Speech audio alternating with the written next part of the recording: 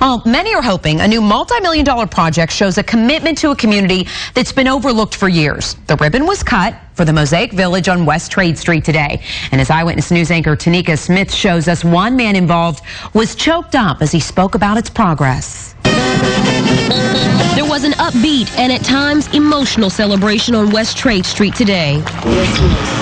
Our vision of Mosaic Village has surely come.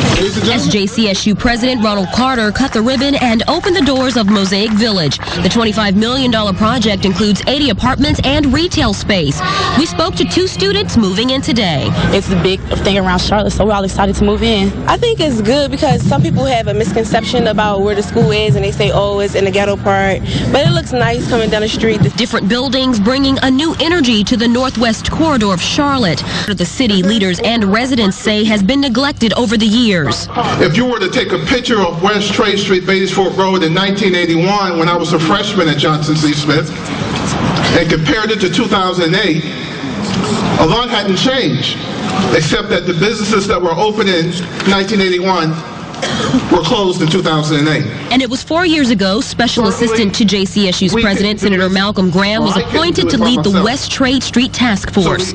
In that time, the group has initiated several projects, including cleanup campaigns, a bike share program, bringing the Gold Rush shuttle to the campus community, and building a new arts facility. And it's not about... Mayor Anthony Foxx grew up in West Charlotte and says the work must continue.